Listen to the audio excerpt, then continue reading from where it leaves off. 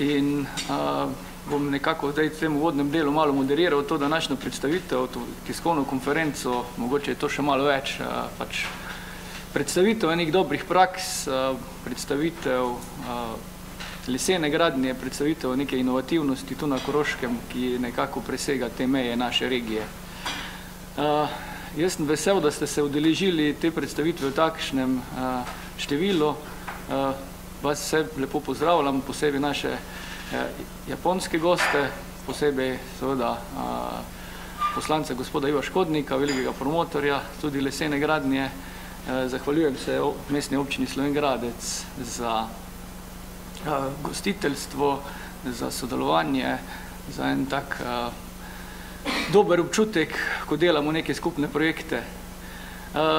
Zdaj, tiskovna konferenca, predstavitev teh projektov bo nekako izgledala takole, da uvodoma bi predstavili nekaj aktualnih projektov na področju lesene gradnje na Koroškem, zelo na kratko, potem bi potekala ena taka daljša predstavitev tega japonskega paviljona, se pravi sodelovanje več, več partnerjev na tem projektu Mestne občine Slovenj Gradec, Fakultete za arhitekturo, Fakultete za arhitekturo z Japonske, Šolskega centra Slovenj Gradec, pa še vse nas ostale, ki nekako skušamo podpirati tovrstne aktivnosti.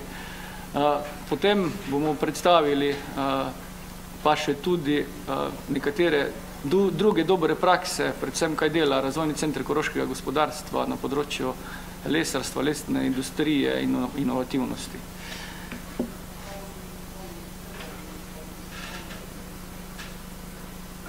Zdaj, v tem uvodnem delu o japonskem lesenem paviljonu v Slovenj Gradcu jaz ne bom veliko govoril, ker bosta to predstavila gospod profesor Tadej Glažar in pa ravnatelj na Šolskem centru gospod Bernard Kresnik. Mogoče samo tako, da vidite tisti, ki ste s Koroške, pa tudi tisti, ki niste, da tu z lesom pravzaprav mislimo resno. Projekt, ki je v teku in je, bi rekel, tik pred tem, da stvari tečejo v smislu izgradnje, je poleg tega japonskega paviljona tudi večnamenska dvorana v Kotljah, ki se že gradi, tudi ta dvorana je v leseni, leseni gradnji, vrednost investicije je bila ena cela sedem milijona evrov, štiristo tisoč evrov smo dobili nepovratnih sredstev na Eko skladu, ki je pravzaprav v tem trenutku en tak glavni promotor te lesene gradnje, namreč ob ustrezni uporabi lesa, ob ustrezni energetski učinkovitosti je možno pridobiti do štiristo evrov na kvadratni meter iz Eko sklada in to je ena taka spodbuda, ki jo skušamo zelo kakovostno koristiti.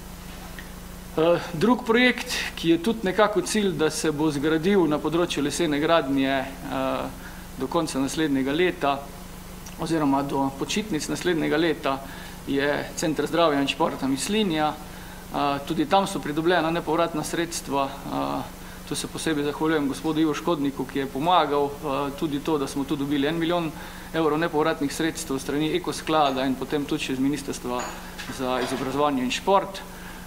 Tu bo tudi, bi rekel, res celovita lesena gradnja, tako konstrukcija, lesena izolacija, vse, kar je pač možno, seveda v najboljših materialih, se pravi v lesu. Predstavili pa bomo potem seveda še tudi aktivnosti Razvojnega centra, zato pozdravljam lepo tudi doktorja Luko Zajca, namreč Razvojni center koroškega gospodarstva je bil uspešen pri razvoju oziroma pri pridobivanju sredstev za razvoj inovativne modularne stene in pa izboljšanje bivalne, bivalnih lastnosti stavb, pa bo to predstavil gospod Luka Zajc. Ta, ta, bi rekel, nepovratna sredstva, ki smo jih pridobili in se aktivnosti potekajo, so nekje v višini okoli dvesto tisoč evrov in v letu pa pol bo je tu kar nekaj aktivnosti na tem področju, da bi se te stvari seveda izboljšale, da bi našli mogoče ne samo rešitve tehnične, ampak se zadeve tudi komercializirajo. Tako, to je en tak uvod. Po predstavitvi seveda vsakega govorca vam bomo dali besedo, lahko vprašate, lahko polemizirate, seveda za ostale podrobnosti pa bomo potem na voljo tudi, rekel, po, formalni predstavitvi da mogoče dodamo še tisto, kar vas neformalno zanima.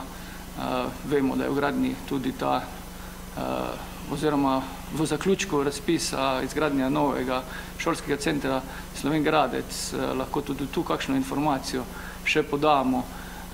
Pa potem na, projekt, na, na, na konceptualni ravni so vsaj še eni trije projekti, o katerih pa mogoče ne bi govoril, dokler investicijski program ni potrjen in zadeve tudi na, na ustrežnih institucijah niso seveda potrjene, zato da lahko nadaljujemo s projektom. Sedaj pa vadim k besedi župana, gospoda Andreja Časa, da kot pravzaprav gostitelj današnjega srečanja, gostitelj tega sodelovanja, gostitelj nekih, bi rekel, dobrih aktivnosti na tem področju lesarstva, spodbojevalec tega področja, mogoče poda nekatere usmeritve, nekatere izkušnje, pa potem seveda nadaljujemo z bolj detaljno predstavitvijo, ki jo je predstavil, ki jo bo predstavil profesor Tadej Glažar. Župan, prosim.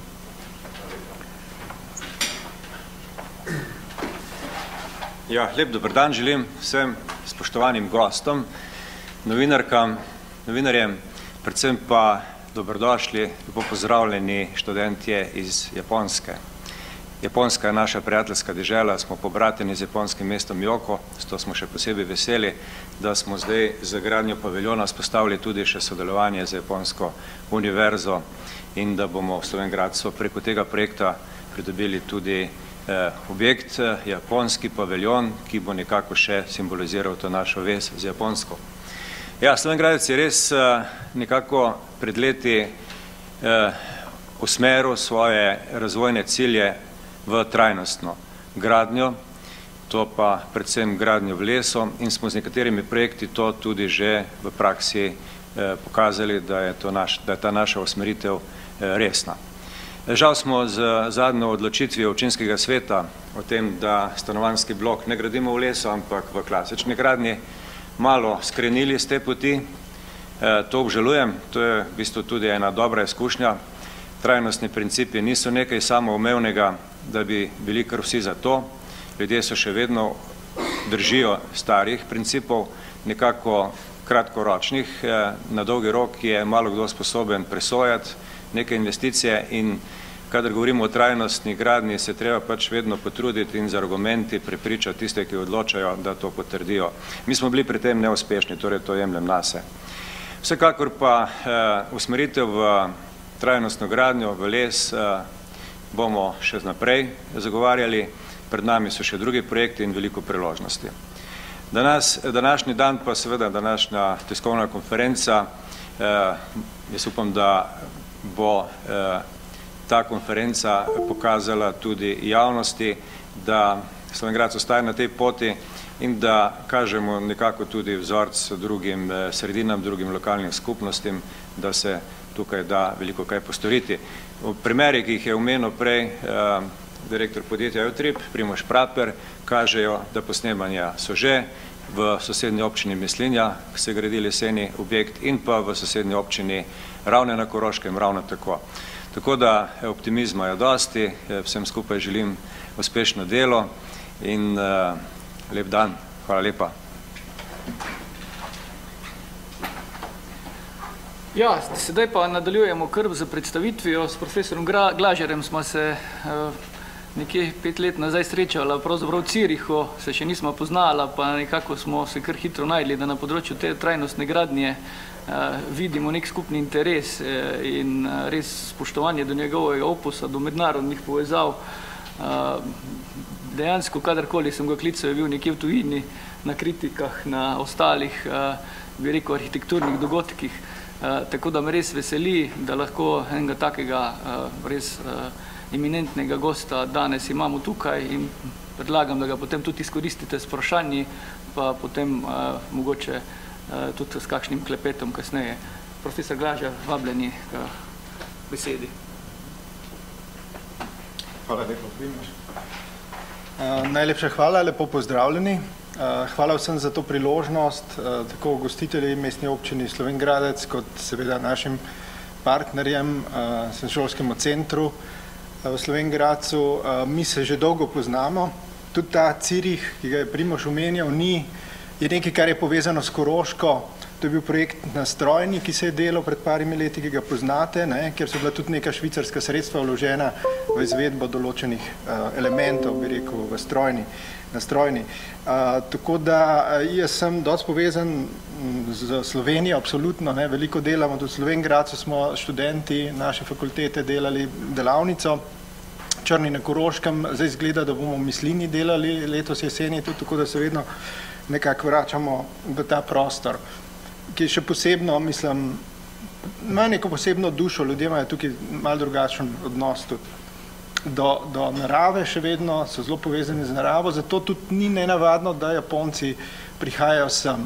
Tudi z Japonci sodelujemo pet let, več kot pet let na projektih, um, sicer na Visu je bilo to prejšnja leta, ne, uh, naši študenti so bili na Japonski univerzi eh, eno leto, eh, Japonci prihajajo, delajo tukaj magisterske naloge v Sloveniji, tako da je ta močna povezava z Japonci. Na posebej je bilo pa še to lansko leto, ko je praktično šola v Slovengradcu tudi sodelovala pri zgradnji japonskega paviljona na Visu. Zdaj moram tako najprej reči, ne, da ta arhitektura a, je, ki bo tukaj v Slovengradcu postavljena, gre za japonski paviljon, ki pa je tudi vedno narejen z sodelovanjem lokalnih ljudi. Se pravi, tako z študenti Fakultete za arhitekturo iz Ljubljane, kot z dijaki uh, srednješolskega centra v Slovengradcu. Uh, tako da Japonci vedno želijo, da se lokalno vključi v projekte, ki jih oni delajo. Zdaj, druga zadeva, ki je pa tukaj zelo pomembna, je pa, da japonske arhitekture v Evropi ni veliko japonskih, če hočete, arhitekturnih projektov ali pa objektov. Tako da to bo prvi japonski arhitekturni projekt v Sloveniji in to bo 13. japonski projekt izveden v Evropi. Teh projektov je zelo malo. Prvi je bil en čajni paviljon izveden uh, v začetku 20. stoletja na švedskem, to je bila sploh prva arhitektura, ki se je pojavila tukaj. In se evropske države, mesta, glavna mesta zelo prizadevajo, da bi dobili eno, evropsko, eno japonsko arhitekturo, ker to pomeni, uh, bi rekel, eno privlačno točko um, za turiste, če tako banalno rečem, predvsem pa uh, japonska, cena, eh, japonska arhitektura se v stroki zelo visoko ceni.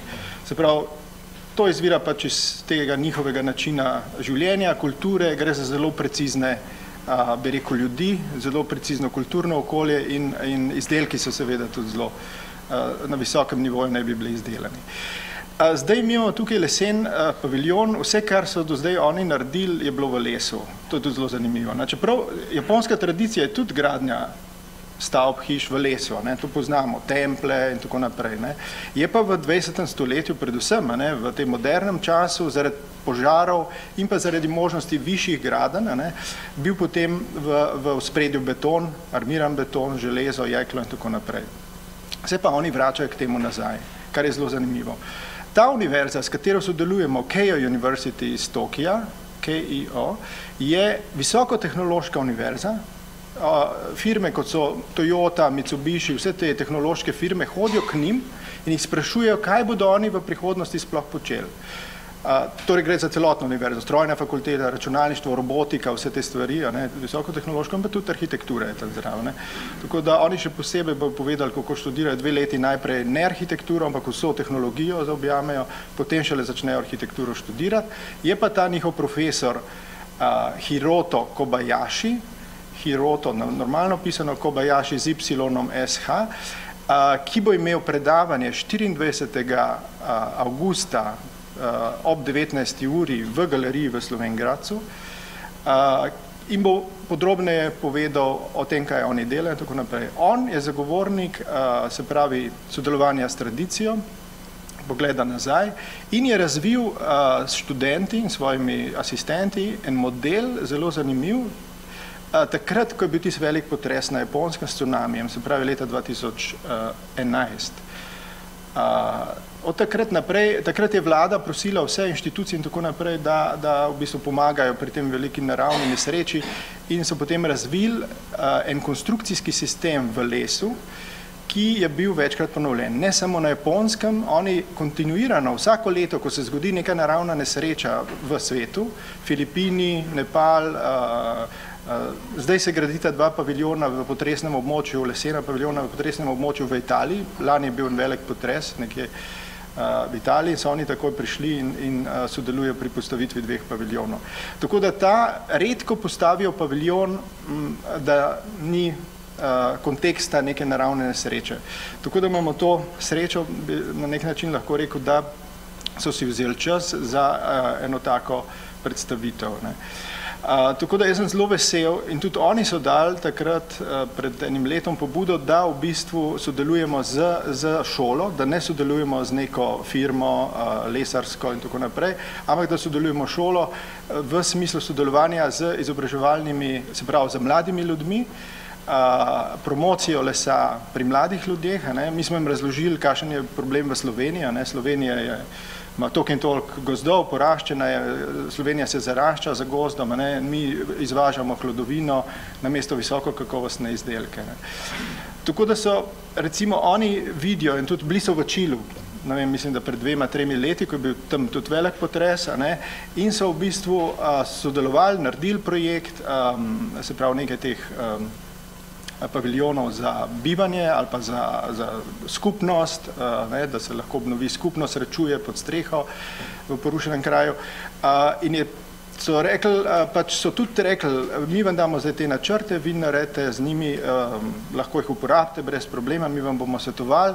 Na sreč Čile še ima tovarno vezanih plošč, uh, zaprav zaradi same tehnologije, ne, uh, hitrosti in pa stabilnosti lesa je vezana bo kot konstrukcijski sistem material uporablja lesena vezana plošča.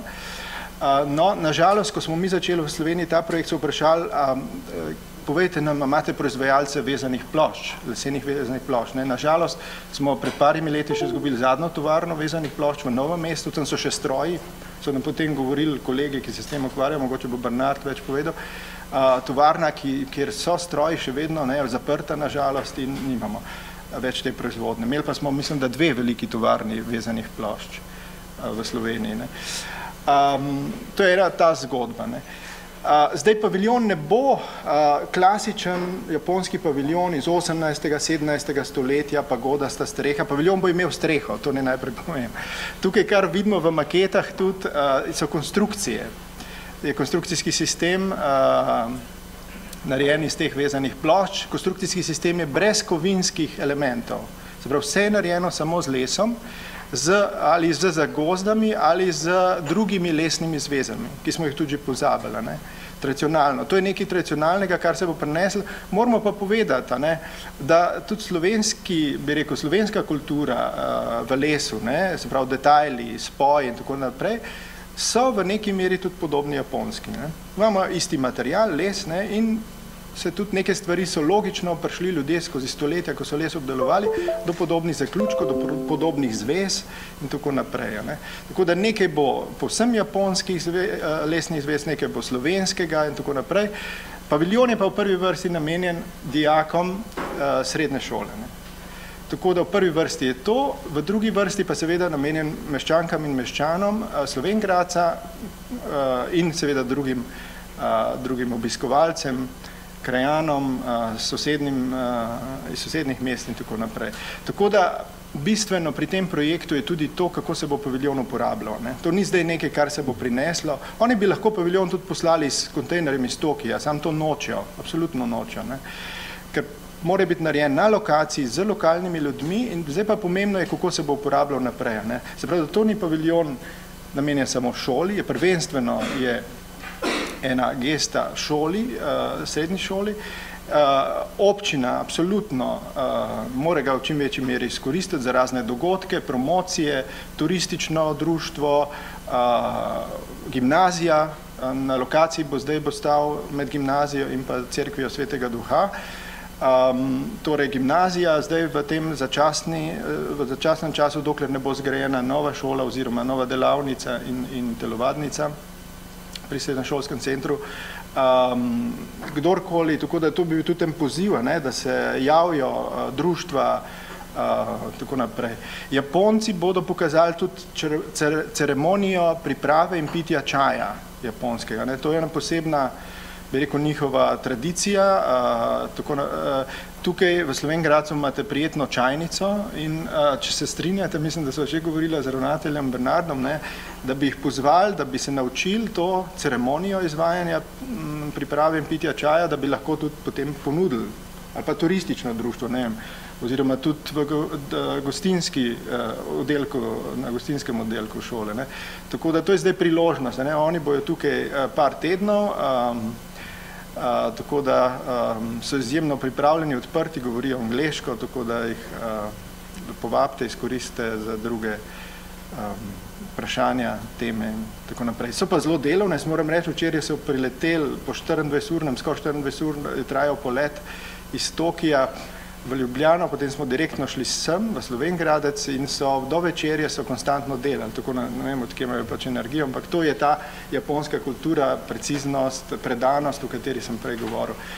Uh, torej, paviljon bo narejen uh, z klasičnimi in sodobnimi uh, sredstvi, metodami, pristopi, ne, uh, tudi uh, njihova orientacija te japonske šole je, da živimo pač danes v 21. stoletju, ne, da imamo na razpolago vrsto stvari, da pa seveda zaradi uh, tudi določenih elementov, ki sem jih prej opisoval v smislu naravnih nesreč, ki se dogajajo, morajo biti stvari enostavno narejene.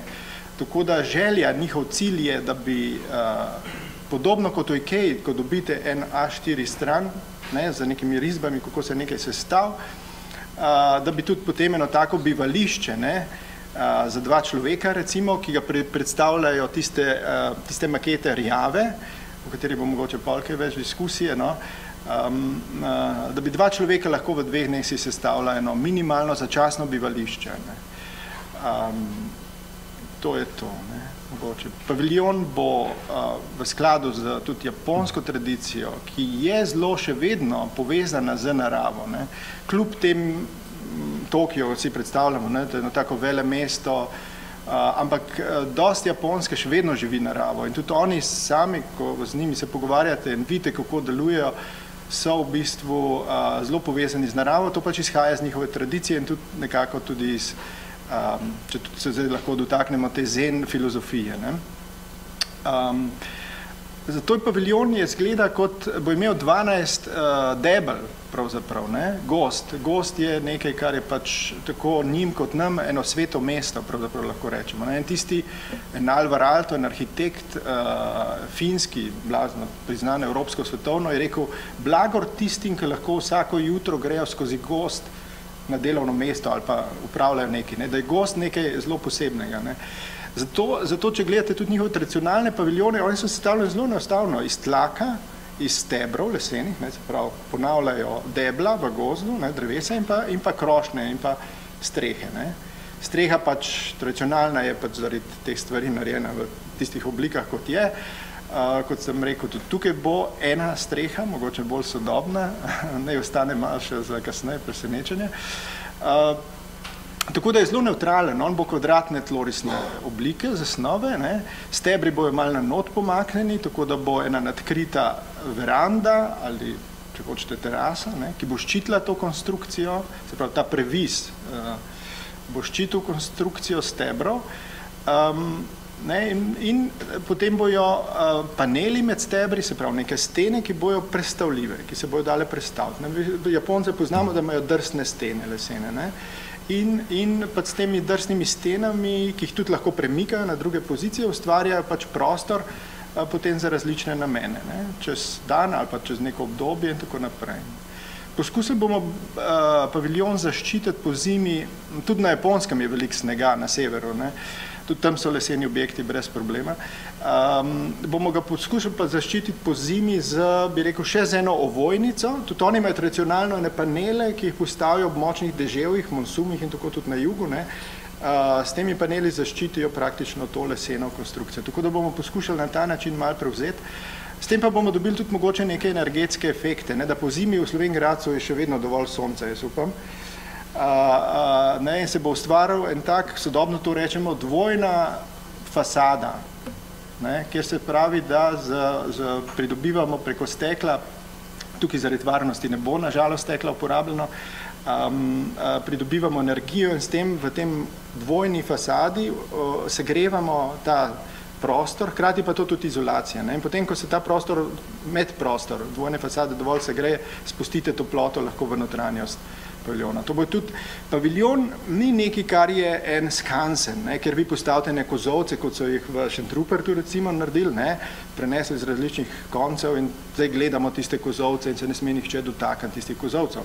Paviljon bo v bistvu, ker gre za univerzitetni projekt, srednješolski projekt, bo v bistvu konstantno, to je bila tudi naša spodbuda, ne samo tisti dogodki, o katerih smo govorili, ki se ne odvijajo v paviljonu, bo tudi konstantno nekega preizkušanja, razvoja drugih tehnik, drugih, bi rekel, eh, lesenih materijalov, Um, recimo, mi smo se pogovarjali o ško škodlah, ne, zdaj to uh, je težko izvesti, ne, je težko najdete mojstre in tako naprej, ampak so, so tukaj, traja dolg čas ta proces uh, klanja, ne, uh, materijala in zlaganja, tako da bomo tudi to kasneje sprobali. Ne. Tako da Japonska univerza si želi predvsem, kar Japonci vedno naredijo, oni niso za neke kratke sodelovanja, oni so za neke dolgoročne sodelovanja, oni si želijo sodelovati, zdaj že drugo leto Slovengradcem sodelujo, tako da profesor bo tudi povedal no, 24. augusta, ko pride, ko bo tukaj tudi par dni in potem seveda 18. septembra je predvidena otvoritev, um, bo tudi ponovno prišel sem um, in, in bo pač povedal še, kaj bi bilo pol naprej, uh, katere so možnosti naprej sodelovanja.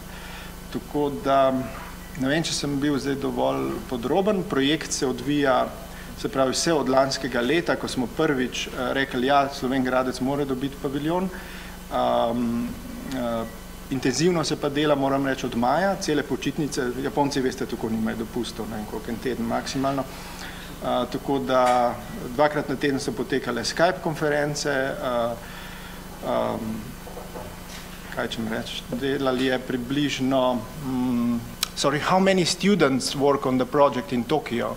How many students? 15 or 10? 12 students. Sprav 12 študentov je delali v Tokiju, uh, v Ljubljani je bilo, bi rekel, 10 študentov, uh, Zdaj, tukaj bojo trije dijaki eh, pri izvedbi, pri rezanju in tako naprej. Eno dijakov je tukaj tudi prisoten, tako da um, mislim, da bo več koristi, no? da ne bo samo ta paviljon, ampak da bo vrsto tudi kulturnih izmenjav in drugega, uh, ne samo zdaj v teh tednih, ampak tudi kasneje. Jaz mislim, da je to ena res velika priložnost. Še enkrat bi podaril, da bo to prva slovenska, prva japonska arhitektura v Sloveniji. Se pravi, a, tri, jaz mislim, če sem prav preštel, 13 v Evropi. Ne. In dejansko druga, ki jo bojo Japonci tudi gradili fizično, ne, ker ponovadi arhitekti pač pošljajo načrte in potem neke firme zgradijo to, ne, se hodijo potem na gradbišče, spremljajo gradnjo, dopolnjujejo, ampak tukaj in na Visu Lani je bilo pa to, da so oni tudi zgradili uh, fizično. Ne? To pa še posebna čast. Ne? Tako da tudi lahko spremljamo njihov način odnos, kako je na gradbišču, ali je urejeno gradbišče ali ni in tako naprej. Tako to, to bomo pa še videli, to se bomo verjetno tudi veliko, upam, naučili od tega. Um, tako da toliko enkrat z moje strani sem na voljo. Ja, hvala gospodu Glažarju. Uh, zdaj za vprašanje jaz predlagam, no, da, da še bi rekel dve kratki predstavitvi naredimo.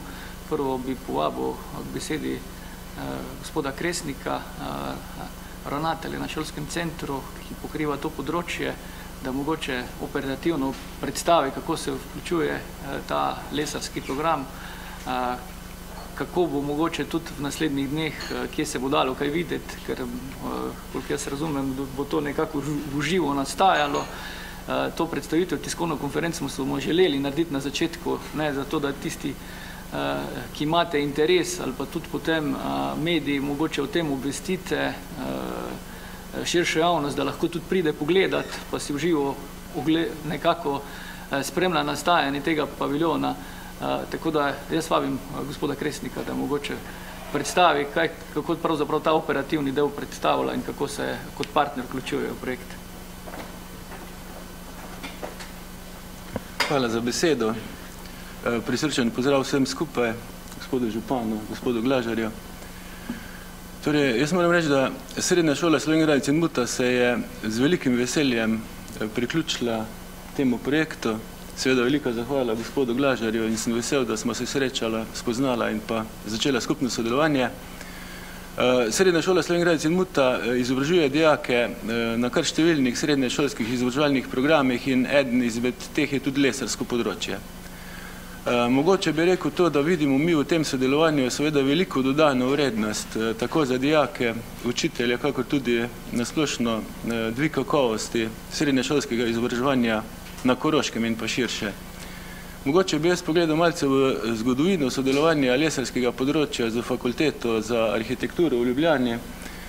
Mi smo pred petimi leti začeli sodelovati z fakulteto za arhitekturo v Ljubljani z študenti ki so pripravili načrte, naši dijaki so pa v dveh večjih projektih v teh petih letih res izdelali izjemno lepe izdelke, ki ste jih imeli priložnost videti v minulih letih eh, na različnih razstavah, tudi v licitaciji lesa, pa še kje. Eh, in seveda se zdaj lotevamo tudi že tretjega večjega projekta v teh petih letih eh, izdelave novega kompleta pohištva za eno učilnico v Ljubljani. To je to naše dolgoletno sodelovanje z Fakulteto za arhitekturo, In seveda moram reči, da sem vesel, da eh, smo si prikrižali pot pred eh, dvemi leti, oziroma lani, mislim, da, kjer smo seveda sodelovanje rešili tudi na Japonsko. Eh, gospod Glažer je lani eh, sodelovanje z našo šolo eh, pač eh, pripeljal do tega, da smo izdelovali lani v naši delavnici te paviljone, ki smo jih potem, oziroma se jih potem postavili na eh, viso. In seveda v sodelovanju z mestno občino smo na nek način prišli do tega, da postavimo eno tako tipično arhitekturo tudi v mestni občini Slovengradec, ki vsekakor sopada tudi z našim srednješolskim izobraževanjem. In če zdaj malce se dotaknem tega konkretno paviljona, ki ga bomo zdaj eh, pričeli postavljati tukaj v Slovengradcu, eh, jaz eh, računam, oziroma kako smo se pogovarjali, da bomo tja nekje do 18. Eh, septembra zadevo postavili Eh, po konci eh, dela so začela potekati včeraj, ko so, kot je že profesor Glažer povedal, študenti prišli iz Japonske in se je delo že seveda intenzivno začelo. V to sodelovanje se vključujejo tudi drugi deležniki, različna podjetja in pa moram reči, da sem vesel tovrstnega eh, sodelovanja. Zdaj pa morda samo beseda k temu, kar je gospod Glažer že prej omenil, vsebina tega paviljona, potem, ko bo že postavljen.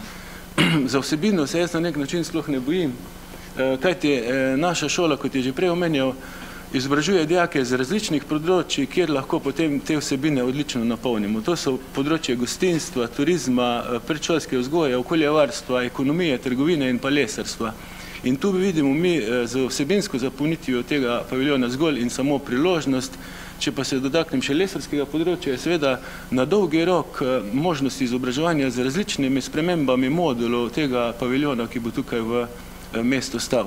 Eh, tudi je govor tekel že v tej smeri, ko bomo zdaj na Štibuhu ste videli, smo začeli že z eh, podiranjem dreves in kratkem z gradnjo novih prostorov šolskega centra, telovadnico, specializiranih prostorov za gostinstvo, turizem in pa seveda zdravstveno nego, poleg tega še novo lesarsko delavnico in potem bo verjetno ta objekt, ta paviljon, umeščen tudi na tisto lokaciji poleg šole, tako da mislim, da bomo zapolnili paviljon z vsebinami in da bo tudi odlično izhodišče, če hočete, za turiste, za turizme mestne občine in pa seveda eh, pričakujemo, eh, da se bo vključovala tudi v vsebino tega paviljona tudi različna eh, druga društva, organizacije in pa inštitucije. Mi bomo pa na vsak način uporabljali ta paviljon za izobraževalne namene, izobraževanje dijakov naše šole in pa naših programov. Tako da mogoče toliko na kratko. Še enkrat hvala lepa gospod Glažar in sem res zelo vesel, da nadgrajujemo sodelovanje. Mogoče za konec samo še eh, beseda, eh, namreč eh, včasih tudi na ključijo prinesejo kakšne lepe povezave. Zelo vesel sem torej tega mednarodnega sodelovanja. Mi v tem koledarskem letu na naši šoli obhajamo 70 let izobraževanja srednješolskega na Muti in pa 30 let izobraževanja na področju lesarstva v Slovengradcu. In tako, da bomo tudi s temi vsebinami zgodbo povezali in pa na nek način skozi to promovirali eh, to področje lesenih gladin in pa lesarstva na Koroškem in pa širše. Hvala lepa. Ja, hvala gospodu Kresniku. Zdaj pa še za kratko predstavitev inovativnosti razvojnih projektov, ki jih pelje razvojni center, prosim doktorja Luka Zajca, da mogoče tudi ena taka informacija, lahko da jih je bilo danes že preveč, ampak vseeno, da, da, da zveste, ne, kaj vse se dogaja na Koroškem na področju lesarstva in da se tu nekako več inicijativ trudi pravzaprav na istem področju. Doktor Luka Zajec, prosim. Hvala lepa, Primož. Lepo pozdravljeni vsi skupaj. Jaz pa prihajam v bistvu iz raziskovalne sfere in sicer se poskušamo vsak dan pa čim več ukvarjati ravno z lesom, predalavo lesa ali pa tisto, kar lahko iz gozda čim več tudi pridobimo. Vemo, da v bistvu so v svetu, Evropi in pa Sloveniji v velikem oziroma številčnem porastu tudi lesena gradnja. Lesena gradnja pa v bistvu za sabo potegne tudi kup takih specifičnih detajlov, ki jih moramo tekom gradnje ali pa recimo predvsem načrtovanja take gradnje tudi reševati. In ena izmed takih problemov smo se tudi mi odločili reševati na razvojnem centru Koroškega gospodarstva. In sicer, ko postavljamo leseno gradnjo, kar enkrat pridemo do enega problema, ki se reče pa zvok. In pa predvsem prenos zvoka med prostori, med etažami, med stanovanjskimi uh, deli, bivanskimi deli, sanitarnimi deli in pa ravno to smo se sedaj mi odločili malo raziskati in pa tudi ponuditi svojo rešitev.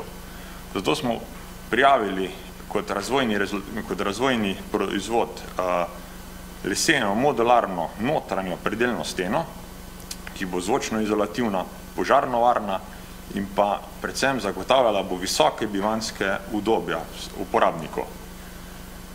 To bo v bistvu lastni proizvod, sestavljen popolnoma na Koroškem, ki bo zelo dober zvočni izolator, pre, preprečeval bo v bistvu prenos zvoka tako med prostori, med sosednjimi prostori, tudi med etažami, tudi dober absorber bo zvoka pri prenosu med sanitarnimi prostori, to meni recimo kopalnica stranišče, in pa končni, kar bo efekt, notranja predeljna stena bo modularna, lahko jo boste poljubno sestavljali, lahko jo boste prenašali in pa predvsem bo bistveno tanča, kot so vse obstoječe te notranje stene na trgu. To ne bo primerljivo z Siporexom ali pa rezimo KNAV sistemom, ampak bo masivna lesena gradnja. Z točno določenimi strukturo noter in pa zelo, zelo natančno izdelavo. Da bomo pa spremljali to, kakšno udobje mi dejansko lahko zasledimo v prostoru, smo pa si zadali še višji cilj. To je pa je razvoj senzorjev in pa krmilnikov za spremljanje notranjega bivanskega udobja. V bistvu na trgu obstaja že veliko senzorjev, ki spremlja temperaturo, vlago, CO2, recimo količino kisika v prostoru, mi pa v bistvu zaradi naše zakonodaje bomo še dodali še zraven spremljanje formaldehida in pa radona v prostoru. Tako bomo te senzore lahko ponudili kot v kompletu z notranjo predeljno steno ali pa kot samostojni proizvod na trg. To je predvsem zanimivo za vse javne zgradbe, ki v bistvu morajo zagotavljati noter 52 decibelov pojemka zvoka med prostori in pa spremljanje tudi um, nivoja formaldehida in pa radona v, v samem objektu. Zdaj pa, žal, mi se nismo vključili noter kot eh, projekt v eh, japonske gradnje oziroma japonskega paviljona, me pa veseli, da so v bistvu prijatelji lahko uh, vzpostavili to dolgoročno sodelovanje.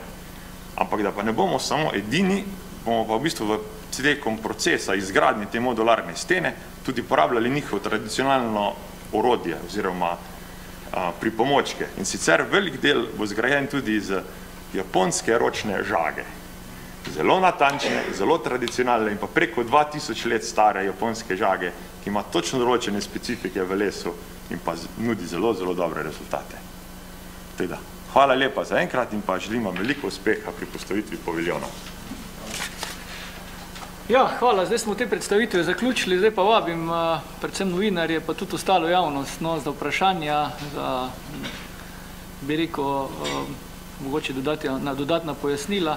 Profesor Glažer je omenil, že tam sta pravzaprav na mizi dve maketi, ena je tudi gor na projekciji, se pravi, ena je ta bela maketa, uh, je maketa brez strehe še, ne, uh, tega, kar bi naj stalo tu v Slovengradcu in pa potem tista uh, bi rekel, rjavkasta maketa uh, teh uh, tudi modularnih, sestavljivih, lesenih uh, bi rekel, mini stavb v primeru naravnih nesreč, tako da to bo mogoče potem še profesor Glažor na konkretno predstavo, ampak zdaj so pa čas za vas še vprašanja.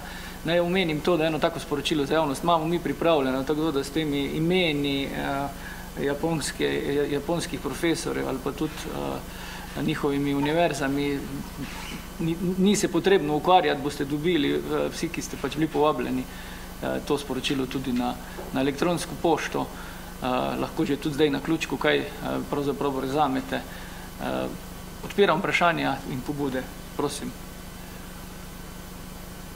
Ja, mene zanima konkretno, kako velika je ta, ta paviljon, pa če ga bojo torej dijaki in študentje iz Tokija in iz Ljubljane gradili sami fizično in točno kje bo stal?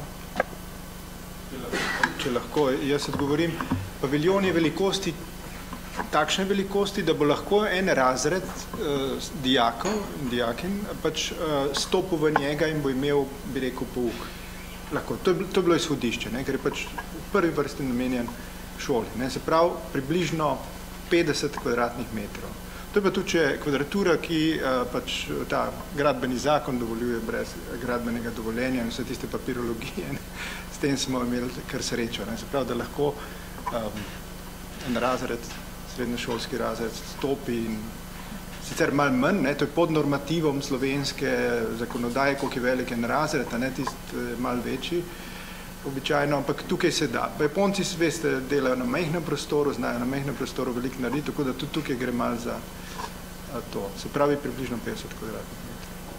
Še drugo vprašanje, fizična izvedba? Fizična izvedba, ja, to bo grajeno z njihovimi rokami, torej lahko povabimo tudi druge mlade arhitekte iz Koroške, um, gimnazice za kakšne uh, druga lažja dela, ne, gimnazici bojo zdaj prvi sosedje, tako da jih je dobro vključiti, dobro vključiti čim več uh, ljudi, tako mladih kot starejših, to je pač neka izkušnja, ki jo poznamo, uh, preprečuje vandalizem kasneje, ne, če ljudje nekaj dobijo kar tako, potem imajo do tistega drug odnos, kot če sami nekaj tudi fizično uh, zgradijo.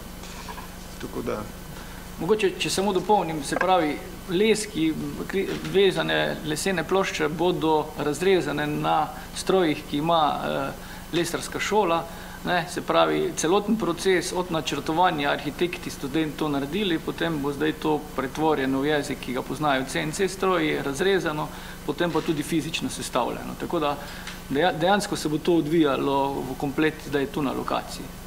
Če, če lahko še dopolnim, ja, ne samo te tehnološki stroji, CNC, ki so povezani z računalniki, tudi bolj enostavni stroji, tudi Japonci so prinesli tradicionalne a, a, dleta in druge, drugo orodje a, tesarjev, mizarjev, tako da oni celo paleto a, bi rekel, stroje, orodja pri tem delu uporabljajo. A, a, upam, da je dovolj zdaj pojasneno. Uh, bi pa res mogli še, Primož, ti si omenil, pa tudi ravnatelji omenil, gre za sodelovanje tudi seveda zdaj slovenske uh, industrije in pa podjetij, no, tako da bomo enkrat tudi objavili, ko bo končen seznam, kdo vse od slovenske, koroške, še posebej, ne, industrije sodeluje uh, pri tem projektu.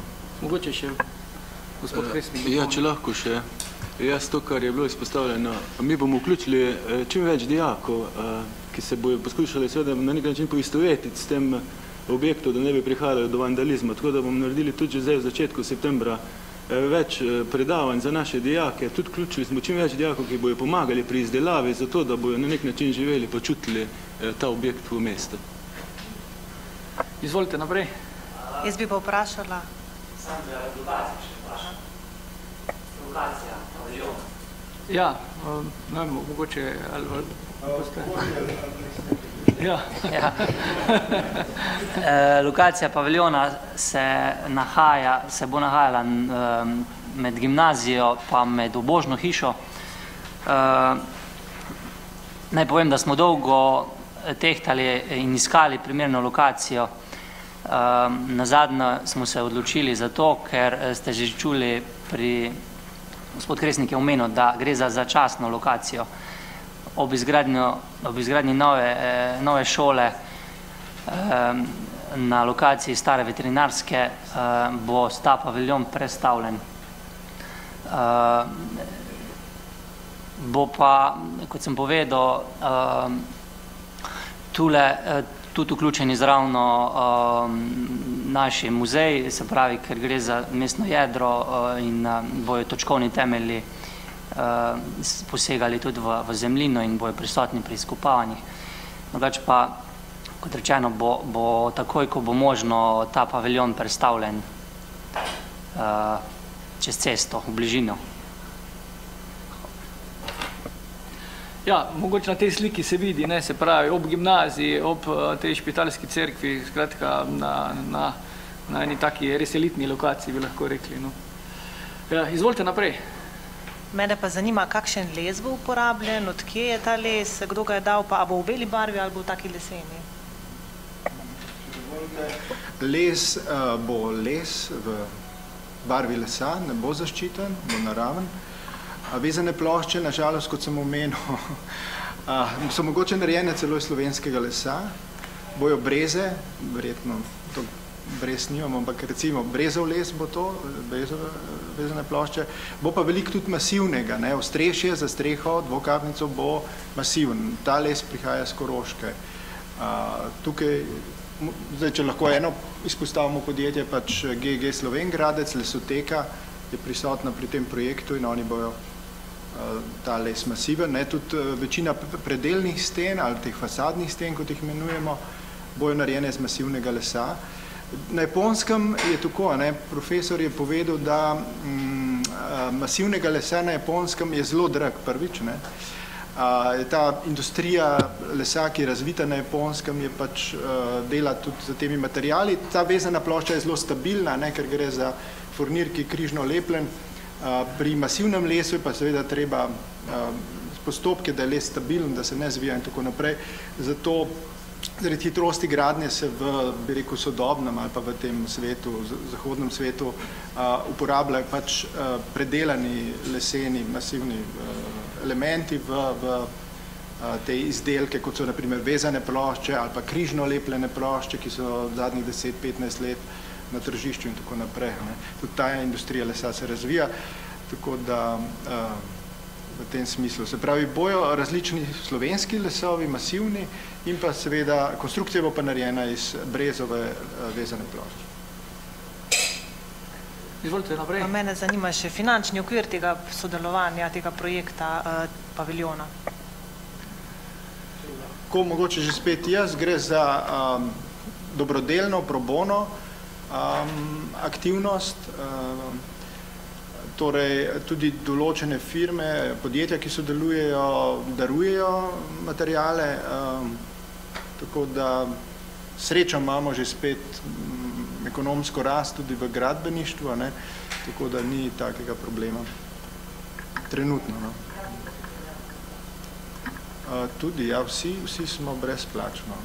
To, mislim, študentje pač, moji študenti ali pa naši študenti iz Ljubljane ne bojo dobili nobene ocene zaradi tega, to je čist ekstra dobrovoljno, bi rekel, si želijo, zelo velikih zanima, zelo velikih želi pridati, pomagati, se pridružiti, ker je to res neka izjemna izkušnja. In mislim, da tudi te neke solidarnosti, če tako lahko rečemo, um, ni slabo tudi pri mladih ljudeh skozi take projekte vzgajati.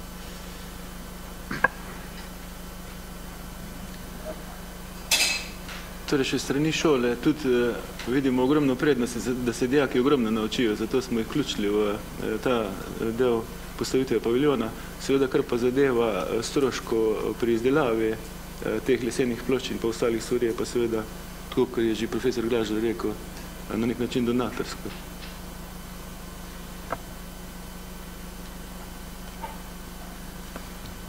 Če smem, Lepo zdrav, Liljana iz agencije Lotos. Jaz bi poprašala zvezi malo več mogoče kakšno besedo o zaščiti tega lesa, način zaščite, s čim. Pa, če sem prav razumela, bi naj bila to dvokapnica streha, zdaj ne vem, iz tega, te slike ni razvidno, mogoče kaj o tem. Torej, v preteklosti se je les veliko bi rekel, ščitil z raznimi premazi in tako naprej, kar se je skazalo v končni fazi tudi za problem kemične industrije. Ne. tako da se je vrnitev nazaj k tradicionalnim sredstvom ščitenja lesa, ne, se pravi oljenje mm, z, z voskom, voskanje, a, mogoče tudi mogoče neki premazi na vodni osnovi so bojo mogoče prisotni ne, pri lesu, pri masivnem lesu, predvsem, če bomo uporabljali koroški macesena, ne, pa sami vemo, da tukaj ni potrebno a, a, dosti, ker je les samo zaščiten. Pomembno je, da, se, da je les pokrit in da se les uh, lahko suši. Se pravi, ne sme biti zaprt. To je najbolj pomembno. Ne? To, ta, taka osnovna, osnovni principi. Ne? Tukaj, kot sem rekel, po zim ga bomo več ščitili, še z nekim ovojem, uh, tako da ne bi sneg in dež preveč namočila. Ne? Je pa pri lesu kot gradbenem materialu edini uh, material gradbeni, ki je obnovljiv, naravno obnovljiv. Ne? Vi posadite drevo, zraste v tolikih letih, požagate in imate ponovno ta material. Tako da tukaj, kar se tudi tega odnosa do propadanja, do tega ciklusa, življenjskega ciklusa, ne, kot ga sicer poznamo, uh, druge, ne, pri nas samih mogoče, uh, Uh, Japonci tudi to zelo dobro razumejo in sprejljajo. Ni, ni tragedija to, tudi če kaj zgnije, če kakšen les je treba del late zamenjati, ne, deske zamenjati in tako naprej. Ni. Ne, pozorim, bo profesor pokazal 24. oni imajo še zdaj tradicionalno, že več stoletij, na vsakih 20 let, eden izmed najbolj pomembnih templov na Japonskem, ne glede kakšen je stanje lesa, podrejo in ga ponovno, zraven njega se sestavlja najprej novega, po vzoru tega istega, praktično radijo kopijo, vsakih 20 let.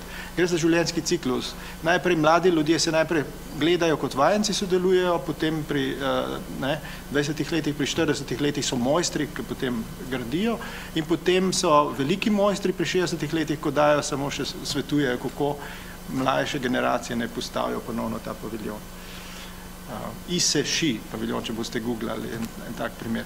Tako da mi bi želeli ponovno tudi skozi to pokazati uh, nazaj, ne, mislim na to en drugač pristop, ne ta zahodnjaški, kjer je treba vse zaščititi, premazati za, za ne vem čem. Bomo pa uporabljali, se pravi, vezane plošče so vodo, z, narejene z vodoodpornimi lepili, uh, tako da tukaj je to pazljivo izbrano. Bom pa tudi nekaj sodobnih materijalov uporabljal na tistih najbolj občutljivih delih, kot je čelnih, se pravi, teh robovih, kjer se furnir najbolj izpostavljen in kjer je največja možnost, da bi voda oziroma vlaga vsrko sebe in povzročil katastrofa potem. Katastrofa, v narekovaj, ko smo prej rekli. Vidovič Drago iz agencije Lotus, vseeno bi jaz opomno morda, da biotehničnega fakulteta v Ljubljani je skupaj z našo industrijo izdelala sredstva za zaščito lesa, ki so uh, ekološko sprejemljiva in ne škodijo naravi. Ne, to bi jaz tu upomno in tako, to je termična modifikacija in še drugi, druge zadeve se tu zraven. Mi lahko ponudimo, če bi želeli, pristop uh, fakultete z eno firmo, ki bi potem prikazala zaščito tega lesa na dolgi rok. Če želite, eh, bi vzpostavili kontakt in mi to nudimo. Seveda gratis. No, se zahvaljujem in sprejemamo to. Hvala lepa. Mislim, da bo tudi priložnost za japonske kolege, da se bojo nekaj naučili od slovenske. Namreč, hotel sem povedati samo še to, biotehnična fakulteta, sodelovanja s temi firmami ima po celem svetu približno 140 postaj na katerih preizkušajo les v različnih eh, vremenskih pogojih ne? in do zdaj so bili rezultati naravnost fantastični. Tako, hvala lepa. Hvala, ste videli, ker tu se sklepajo partnerstvo v živo. in, to, in to res uh, cenimo, no, to sponzorstvo, to donatorstvo, ki smo ga, ki smo ga nekako že lansko leto uh, res uh, začeli nad, z japonskim paviljonom na Visu, ne, takrat, takrat je bilo eh, mogoče še, še malo treme, kako bo to, ne, ampak se je izkazalo zelo dobro. Izvolite naprej vprašanje.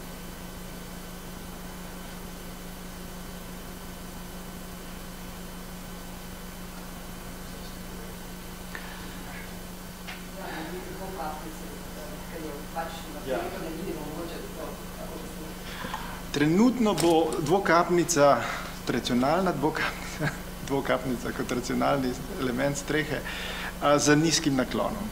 Se pravi, kot sem že rekel, paviljon bo v funkciji tudi eksperimentiranja. Če se zdaj, ljudje se bojijo te besede eksperiment, ampak prav zaradi teh edukacijskih in pa tudi raziskovalnih seveda, ne, tudi tako vašo fakulteto oziroma vaše inštitucije vabimo k, k tem projektu, jaz upam, da lahko v imenu uh, tudi občine in pa, in pa šole, ne, srednje šole, rečemo, da ne bi to, tudi oni si želijo, tudi oni bojo sodelovali pri tem, danes to ni problem, uh, z, z preizkušanjem, uh, ne, to je potem živa arhitektura, če bi, ne samo seveda z dogodki, ki so bili omenjeni, ampak tudi z, z raziskovanjem uh, ne, na, na stavbi. Ne. To pač, kar mi s kolegi, z vsemi, ne, tudi, uh, si želimo. Ne, da mi neko hišo postavimo, pa pol se obrnemo, pa gremo, pa nas ne briga, kako ljudje not živijo, pa kaj se s to hišo dogaja, ampak to ne zanima, to monitoring, če se tako danes pač nekako tudi rečem. Hišo pogledam čez pet let, pa vidimo, kaj se dogaja. Nismo prepustili to dolgo časa, ampak monitoring non-stop. Pa je življenjska doba um, takega objekta? Nisem razumel, prosim, če lahko ponovite. Koliko je življenjska doba takšnega objekta? Torej, poznamo, tudi v Sloveniji poznamo lesene objekte, ki so več sto let stari. Ne. Tako da zdaj bi si zelo želel, če bi, ne. Paviljon se bo pač spreminjal, uh, kot smo že rekli, tako da zdaj jaz ne bi želel, profesor je enkrat omenil, mi bi bili zelo zadovoljni, če bi paviljon stal pet let. Ne. Jaz upam, da se bodo občina, šole in, in druge institucije prizadevale, da bo paviljon dobro vzdrževan, da bojo zadeve odpravljene, kot se paviljon se sestavi in razstavi lahko. Ne? Paviljon ni, niti ne bo betona, niti enega kubičnega metra betona uporabljeno. Ne? Tudi temelji so tako narejeni, da bojo, strokovno se reče, gabijoni, te kovinske kletke, v katere bojo prodniki iz zdrave zloženi noter. Prav, ko se bo paviljon prenašal na drugo lokacijo, bo tudi temelj, se pravi ta kletka kovinska z prodniki, se bojo ven vzeli, uh, ta kletka se bo dvignila in se bo prenesla na drugo lokacijo, predstavlja. Enako les, les je, lesene plošče so, kot sem rekel, s kajlami pritrjene ali pa samo zarezane ene v drugo in sestavljene, se bo to razstavljalo in preneslo na drugo lokacijo. To je, tako, to je tako ena zelo, mislim, to je tudi slovenska, če pogledate, vsi kozovci se jih da enostavno predstaviti, ne? ampak tudi v japonski kulturi je to zelo pogost oziroma reden pristop. Ne? Mene zanima še, da se plastično predstavljam, ta paviljon bo v bistvu odprt ali bo, ali bo zaprt, mislim, kot, ne vem, kot soba, ali bo lahko pihalo skozi. No? Bo in zaprt, se pravi in poleti in spomladi, ko bo primerno vreme, se lahko odstrani te, zelo enostavno, se odstrani te fasadne panele, se pravi fasado se bo srano, tako da bojo samo stebri. Uh, uh, tai chi, please if you can turn pavilion around, ne, tako da se vidi, da so samo stebri, z te strani se zdaj vidi. Ne. Tako bo pa recimo poleti in bo on po celi površini odprt. Drugače pa ta, ko bo pa zaprt v tem delu med stebri, recimo, bo pa cirka, tam smo rekli, 26-27 kvadratnih metrov, tako ena res minimalna učilnica. Ali pač polet, v jeseni, bo pač se bo učilo tako samo za streho, ne, pa stebri. V gozdu, kot bi rekli, tako finci, ali pa tudi oni. Morda še eno vprašanje ste, kaj razmišljali morda o tržni vrednosti takšnega objekta? Če bi kdo hotel naročiti to za svoj kraj, recimo za svoje mesto. Ja, to je priložnost in takoj, ko smo mi imeli, da bo v Slovengracu, v drugim slučajno smo imeli um, štanjelom na krasu, ne, nek razgovor in smo rekli, da ja, zdaj pa bomo gradili ta japonski paviljon. Se, ujoj, mi bi pa tudi, zato ker Max Fabiani, ki je tam doma, ta slavni arhitekt, on je imel tudi povezavo z Japonsko v tistem času in tako naprej, so tako videli neko priložnost povezave. Ne. Kar se tiče um, profesor tudi, Kobayashi, ne, pravi, ja, predvsem tudi te paviljone ali pa te minimalne bivanske objekte, absolutno da na voljo, svetuje in tako naprej. Tako da tukaj samo vprašanje slovenske industrije oziroma nekoga, ki, ki je zainteresiran recimo, da bi naredil serijo takih a, objektov za bivanje manjših, a ne ob naravnih nesrečah. Ne. Moram povedati, da en japonski študent je delal magistrsko nalogo v Sloveniji na to temo in smo šli potem na ministrstvo za notranje zadeve in so oni takoj videli te makete in, tako, in so rekli, joj, to je pa veliko boljš, pa šotori, ki zdaj postavljamo, ali pa ka ljudi selimo v neke telovadnice in so rekli, dej, bom, pejte na civilno zaščito, pa bi, a ne, to se zloži v eno paleto, to je kaj ena zaboj ena taka manjša hiša za dva človeka, to je 14 plošč, recimo, vezanih, ne? to je zelo mehna količina. Ne? In uh, to je tako minimalno začasno bivališče ob neki naravni nesreči, ki je dosti bolj prijetno, kot pa vi spite skupaj z ne vem kolikimi v enem šotoru, tistem zelenem, vojaškem ali kakoli že. Dva dni se sestavlja. Dva dni ga morata dva človeka sestaviti, brez uh, izobrazbe, bi rekel, ne? se pravi, dobite tako kot v Ikeji, dobite en listek in potem sestavite. Tako da priložnost je, ne, priložnost je za slovensko uh, industrijo ali pa ne vem, podjetnike, neke druge zadeve, tako to organizirajo. Dobro. je pa tržna vrednost tega? Uh, torej, ena plošča stane 40 evrov. Ne? Zdaj, 14 sem rekel za tiste mehne rjave eh, škatlice. Ne, prav, ne zrezana. Ne, ne zrezana, no, recimo. Ne? Ampak to si človek lahko malo predstavlja. Recimo zdaj, za ta paviljon jih bo uporabljenih 120, računamo, tako 120. Uh, mislim, da les v osnovi, kot sem rekel, posadite drevo, zraste, ampak seveda se je treba to pač, uh, kultivirati. Ne? Da je to nek material, ki ga mi imamo res v izobilju in ki ga bi lahko tudi, ne, uh, v nekem um, finančnem okviru bi bil lahko cenej, kot dejansko je. To je moje mnenje. Ne. So pa to mednarodne tržne situacije in tako naprej, ne, na katere pa ne moramo vplivati. Ne. Ampak jaz bi zdaj tako rekel, če bi v cenu ta paviljon bo imel, zunaj bo imel 50 kvadratnih metrov, ne, mi moramo pridati s ceno mm, 300 evrov po kvadratu, z vsem, tudi če malo plačamo kakšnim delavcem, malo, da bi kaj rovo kopač, recimo skopo za temelje, da ne bi na roke kopali temelj, zemlje. Ne? Več kot preveč. Tako, tisto. dobro, jaz mislim, da smo zdaj ta bistven del izčrpali, seveda bojo gostje tu na voljo, mogoče samo ponovimo še, da boste prišla profesorja, pa verjetno bo možno tudi Uh, ja. še, še, še nju, da prisluhni tima. Ne? Seveda, profesorja prvič prideta, oziroma profesor ene arhitekture, drugi pa statike, konstrukcije, kar je zelo zanimivo. Ne? Japonci imajo veliko potresov, torej Koroška manj potre, je manj potresno ogrožena kot ostali del Slovenije, tako da tudi srečna v tem primeru. Um, prijeta 24. augusta ob 19. uri bo ponovno, 19. uri bo pred, javno predavanje odprto za vse, vab, res povabite čim več širši krok ljudi a, v, v galeriji, ne, Koroški galeriji. A, ostala boste tukaj štiri dni, tako da bo še čas, a, boste na gradbišču, boste v delavnici, a, potem pa pride profesor a, arhitekture, tako Bajaši, pride pa ponovno 17. septembra. Torej vse te stroške, karte, avionske, to se njihova univerza plača. Tako, kot sem rekel, štirje naši študenti so bili tam, torej zelo neformalno delujejo, kar je tudi zelo zanimivo. Ne? To ni neka, mi nimamo neke pogodbe z njimi ali pa fakultete, univerze imajo vlazne ne, papirje pa to. Jaz za une štiri študente, ki so šli za eno leto na Japonsko študirati, vse so dobili plačan, karte, stanovanja, tem sem samo dal en podpis na ena štiri list, čist nač. Fakulteta nima nobene pogodbe, mi imamo, mi smo pol naredili zaradi naše univerze, ki hoče to birokracijo imeti, ne? ampak oni so zelo neformalno. Ne? Ne? Mi nismo nobene prepogodbe podpisali, da bomo zgradili ta paviljon. Mi imamo ta gentleman's agreement, kako se reče, dogovor med ljudmi, ne? ki ga se spoštuje. To je pač v japonski kulturi. Tako, to, kar se to... Ja.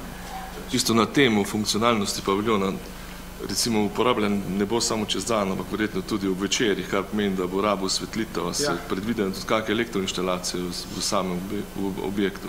Ja, mi, mi bi želeli uh, se prav samo zadostno energijo imeti v paviljonu, tako da je nekaj slovenskih podjetij, ki se s tem ukvarjajo, um, tudi z, bi rekel, najbolj kvalitetno razsvetljavo, delamo tudi druge naloge in smo prišli do tega v let tehnologiji, na vrhuncu, so to, so to na vrhu o kvalitetnem spektru let razsvetljave. Tako da smo z njimi v kontaktu, jih prosimo, da bi se vključili in da bi naredili eno mm, osvetlitev paljone tudi v večeru, seveda.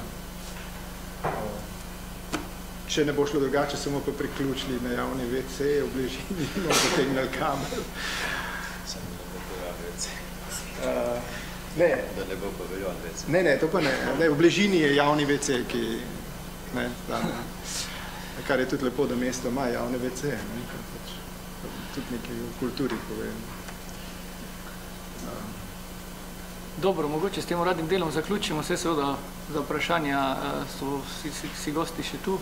Eh, Če bi potrebovali eh, m, ali kakšne dodatne informacije oziroma ta gradiva, kolegica Jadranka tu, eh, tu je, bi rekel, na voljo, se lahko tudi pri njej oglasite, date vizitko, pa vam bo še danes poslala eh, gradivo ali pa zdaj dala tudi na, na računalnik, če je potrebno, imamo te stvari tukaj. Eh, Seveda bi si bi pa želeli, no, da mogoče to ni eh, tak samo ena kratka novička, ne, ampak mislim, da je to, kar smo zdaj slišali, tako navdihujoče, da, da, da je lahko mogoče v naslednjih 14 dni, dnevih res še kakšna obsedničnejša predstavitev. Hvala vsem. Izvolite si tam vzeti rogličke, kavico, ste že dobili eh, sadje, tako da pa, pa k mreženju naprej, tudi to je namen današnjega dogodka. Hvala.